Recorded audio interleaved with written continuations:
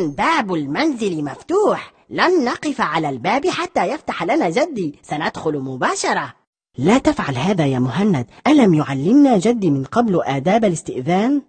لكن الباب مفتوح يا عمر. وجدي يعلم أننا سنأتي لزيارته في هذا الوقت. فلماذا الاستئذان؟ حتى لو كان يعلم بمجيئنا لابد أن نستأذن قبل الدخول. كم أنا سعيد بكما لأنكما استأذنتما قبل الدخول. ولكن الباب كان مفتوحا يا جدي. تركته مفتوحا لأختبركما. ولقد نجحتما في الاختبار. كان اختبارا. الحمد لله أنني لم أدخل من غير استئذان. لقد كان عمر على حق.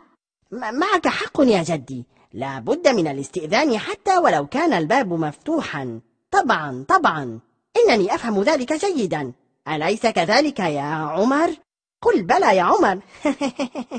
الاستئذان أمر واجب يا أحفادي. فالله سبحانه وتعالى يقول يا أيها الذين آمنوا لا تدخلوا بيوتا غير بيوتكم. حتى تستأنسوا وتسلموا على أهلها. ذلكم خير لكم لعلكم تذكرون. وماذا لو لم يؤذن لنا بالدخول؟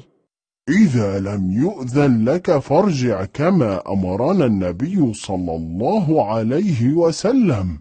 أنت تعلم يا جدي أننا نحب المجيء إليك لأننا نتعلم منك في كل مرة شيئا جديدا. بارك الله فيك يا عمر. أنت ولد طيب ومؤدب وأنا سعيد بك. وأنا وأنا يا جدي ألست سعيدا بي؟